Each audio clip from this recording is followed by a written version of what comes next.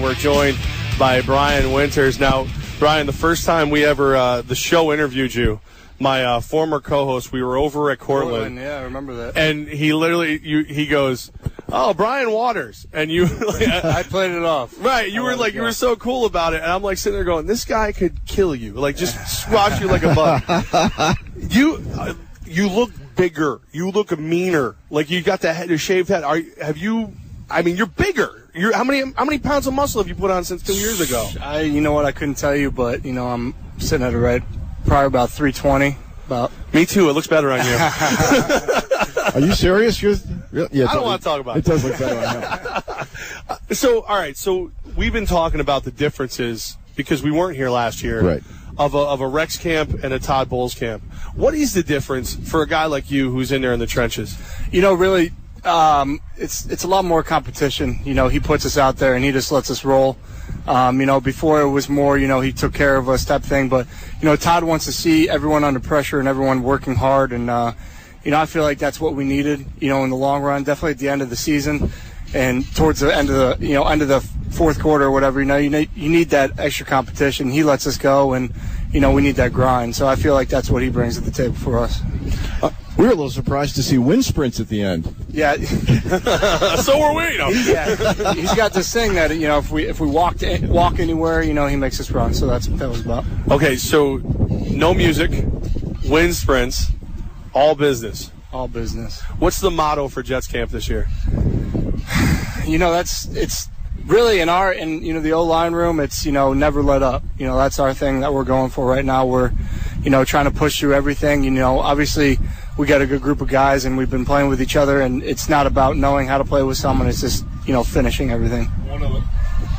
Yeah, well, we were certainly glad that the whole Fitz thing got settled.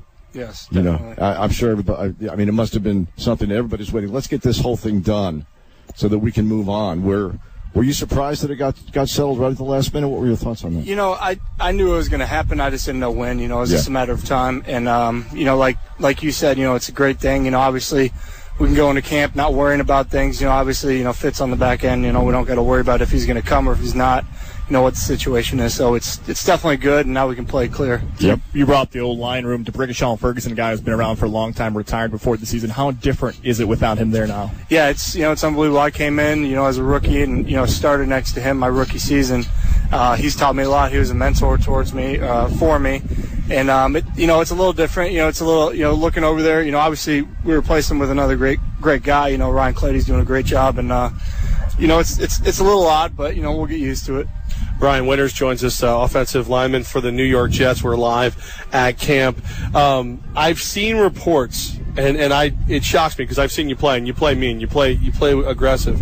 I've seen reports it's a make or break year for you. Do you feel like that at all? I don't pay attention to anything what people say. You know, obviously you're gonna have any media say whatever they want, but until they see me play, it's what it, you know what it is. Do you ever want them to line up now across from you and Yeah, make or break you know, this? it's yeah, it's you know, I, I've been I've been dealing with it. You know, it's Yeah. New York media. You just got to deal with it and move on. And uh, you know, I just I just laugh at it to be honest. You're from a MAC school. You played at Kent State. Your quarterback's from Harvard. Your running backs from Tulane. Do you feel like there's a chip on your guys' shoulder coming from these smaller schools and motivates you? it's great. You know, it's obviously you know we can play with anyone. We've got Brian uh, Brian Winters with us right here at uh, Jets camp. Brian, we we're glad you're coming over and hanging out with us a little bit. Um, how much better are you guys because you bang with that defensive front from the Jets D? a lot. You know, um, you know, really, it's it's one of the best defensive lines in, in, in the NFL. So obviously, going against them every practice is a is a big thing. And you know, when we can get successful things done on them, you know, we know we can do it any anywhere or anytime. Was there a part of you that hoped Mo would miss camp just so you wouldn't have to shove him around? No, I like I like going, I like going against Mo. I like going against Mo. Mo's a good competition. You know, he gets me better.